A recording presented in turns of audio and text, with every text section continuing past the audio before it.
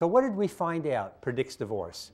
And uh, the major thing we found was that, in fact, uh, the people whose marriages were headed for divorce, when they talked about an area of disagreement, there was slightly more negativity than positivity. They were slightly more hostile, defensive, angry, you know, upset, uh, really disappointed, slightly more negative emotions coming out than positive emotions.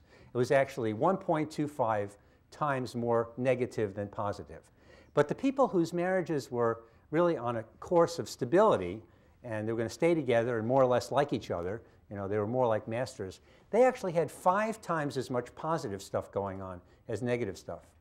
So even when we were talking about an area of continuing disagreement, their marriages were very rich climates of affection, humor, interest in one another, all kinds of things going on. And one of the big puzzles we've tried to solve uh, is, you know, what makes people have access to their sense of humor when, even when they're fighting?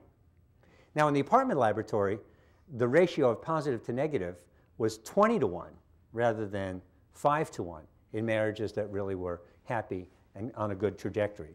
So that was the first thing we found, that really a marriage has got to be a climate of a lot of positive stuff going on all the time.